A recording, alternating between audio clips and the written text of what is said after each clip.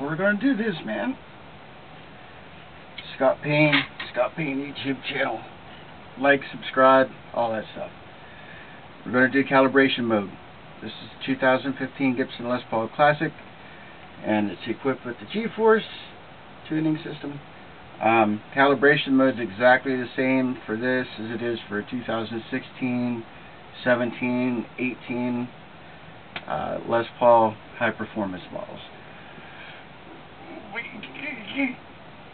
So anytime that you have to you have to calibrate it anytime you change string brands or string gauges.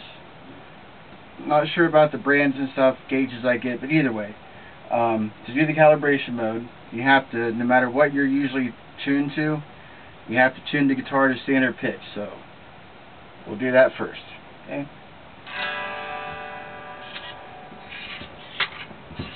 Well, yeah, just bounce it off shit. That'll work.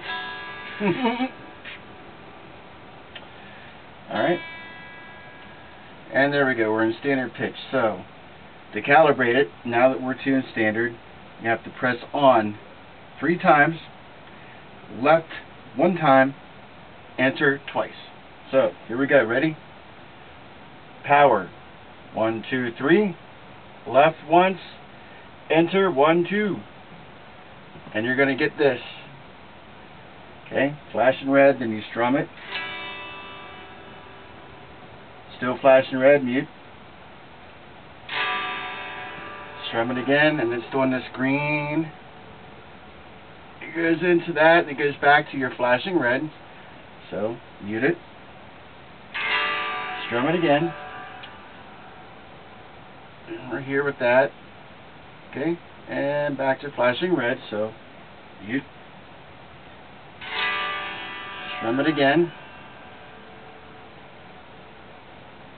Ah, and you saw how it went all the way over to where we just have one LED lit and not flashing, which is the big E. It's lit, not flashing, and that means your guitar is now calibrated. So you can go ahead and put it to wherever you want. I've got mine set up for half a step down, so I go over and you hit power twice, and then I scroll over to the B, where the B is written up red. You hit enter. You see that happen? Strum it once. Let it all tune up here. And there it is. Now I am tuned half a step down.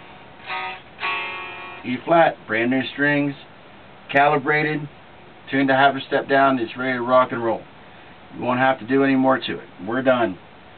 And just so you know, I put Ernie Ball hybrid slinkies on here, 9 to 46, but they're cobalts. I used the cobalts, they kick butt. In fact, I put them on Send my traditional because it's got a lower output pickup and they have more magnetic pull and it makes it more power so you get more push. You get a hotter sound out of it, like the cobalts. And they actually last longer. Normally I would change strings when I was playing every day doing the band stuff. I change them every couple of weeks. Cobalts I could go a month, six weeks without changing them. And that's full on band mode. So I could go a couple months without even changing these things. I still play every day, but not as much as I used to. But the cobalts kick ass, man. Um, rock on. Hope the calibration thing helped you out. Got any questions?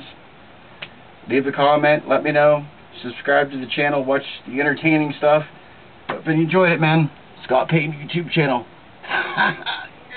See you next time.